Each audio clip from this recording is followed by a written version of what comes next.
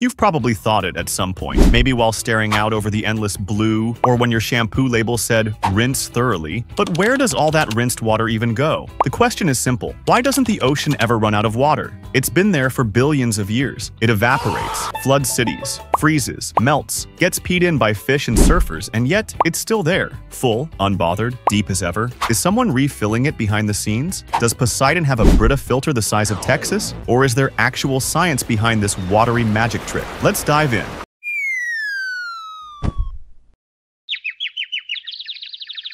First things first, how much water are we talking about? The ocean holds around 1.332 billion cubic kilometers of water. That's 352 quintillion gallons, give or take a splash. If you tried to drink the ocean at one gallon per day, it would take you longer than the age of the universe, assuming you didn't die instantly from salt poisoning. Point is, it's a lot of water. But more importantly, it's part of a closed system. That means almost all the water on Earth today is the same water that was here 4.5 billion years ago. The water your dog drooled today might have once been dinosaur pee, or the liquid in Cleopatra's bath. It's all recycled, and the sheer size of the ocean plays a psychological trick on us too. The horizon looks endless, the waves keep coming, and we assume the ocean is limitless. But it's not infinite, just incredibly well managed by the physics of Earth. You remember the water cycle, right? From school? That little diagram with clouds, rain, rivers, and arrows everywhere? That's not just a drawing, it's the reason the ocean never runs dry. Evaporation. The sun heats ocean water. It rises as vapor. Condensation vapor forms clouds. Precipitation, clouds get heavy, rain, snow, sleet, etc. Runoff, water flows back to the ocean via rivers, lakes, and underground channels. Repeat forever. It's the ultimate loop, like the Netflix autoplay of Earth. And here's the twist. Most of this happens over the ocean itself. Around 85% of global evaporation and 77% of precipitation happen right above the sea. The ocean loses water to the air, but then it snatches it right back, like a hydrological boomerang. The system is so efficient that even large-scale natural disasters barely shift the balance. Hurricanes, tsunamis, monsoons, they move water around, but they don't remove it. It's like shaking a snow globe. All the chaos happens inside. So, why doesn't evaporation dry it out? It's a fair question. The sun pulls up trillions of gallons of water every day. Shouldn't that leave a dent? Not really, because that vapor turns into rain, and much of it falls right back into the ocean. Even rain over land eventually drains into rivers, which head straight back to the sea. Think of it as an extremely complicated water slide network, with gravity as the lifeguard. Plus, the planet isn't losing water to space well.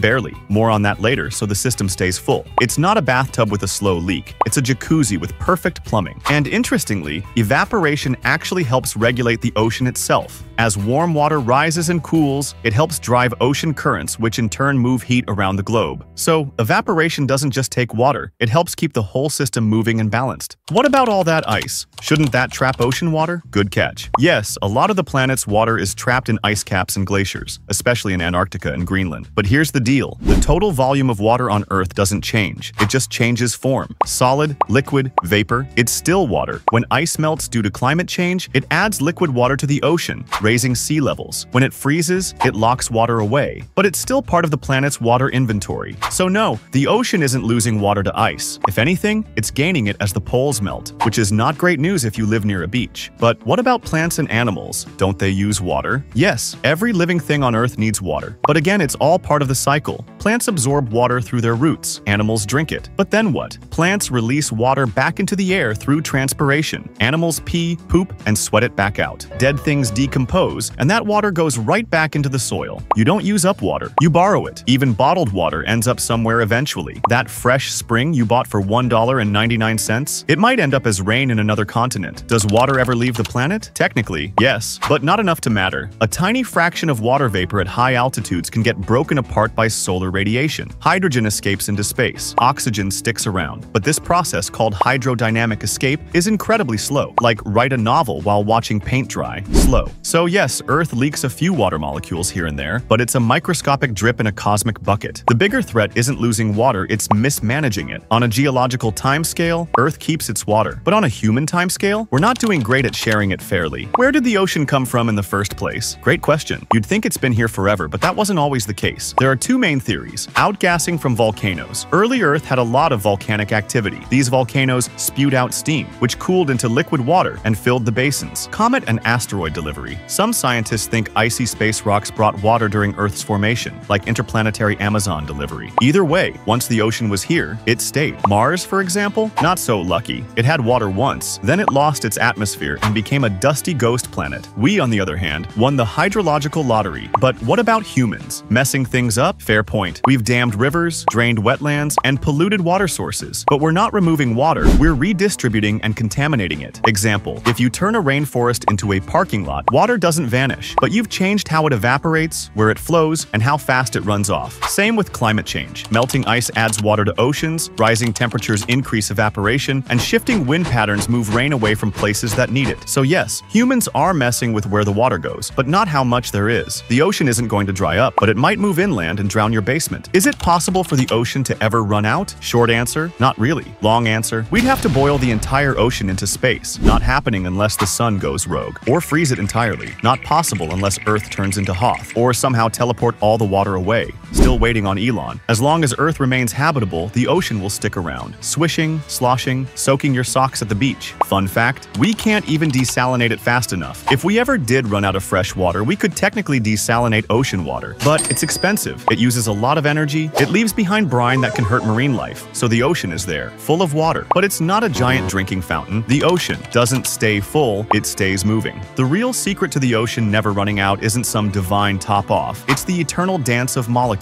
Water evaporates, condenses, falls, flows, and repeats over and over. The ocean isn't still, it's cycling, breathing, processing, and it's been doing it long before we showed up with our pool noodles and plastic straws. So next time you stare out at the sea and wonder why it never runs dry, remember, it's not magic, it's the greatest recycling system on Earth. Ever wondered where your bathwater ends up? Or what dinosaurs might have peed in the ocean first? Tell us your weirdest water theory in the comments. And don't forget to like this video if you've ever tried to count waves. Subscribe to Why X for more that makes the everyday feel epic. Hit the bell so you don't miss the next drop of knowledge. See you in the next tide of curiosity.